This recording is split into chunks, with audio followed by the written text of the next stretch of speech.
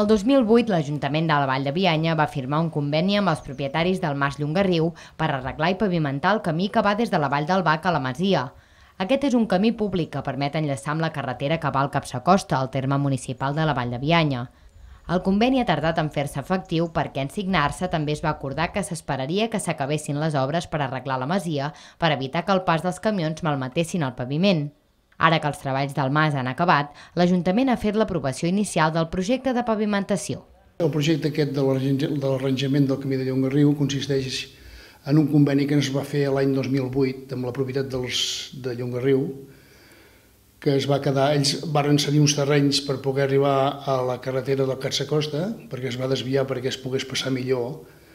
i després doncs, d'aquí va sortir aquest conveni que es va dir que s'arranjaria i l'Ajuntament col·laborarien conjuntament amb l'Ajuntament doncs, per, per arreglar aquest camí que va des de Llongariu a baix al pont del Tomàs. Amb aquest conveni el que diu és que l'aportació de l'Ajuntament és el 50% i els propietaris també porten el 50% més del, del valor total. Que en aquest cas el valor total estem parlant d'uns 95.000 euros. Per a l'Ajuntament és important l'arranjament de la via, ja que al tractar-se d'un camí públic tot el municipi se'n beneficiarà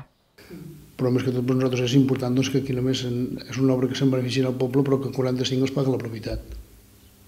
Aquest camí, que té una llargada de gairebé un quilòmetre i medeix 3 metres d'ample, és l'única part del camí que va de la Vall del Bac fins a la carretera del Capsa Costa que queda per arranjar. D'aquesta manera, la via que va a la Vall de Bianya des de la Vall del Bac ja estarà del tot arreglada.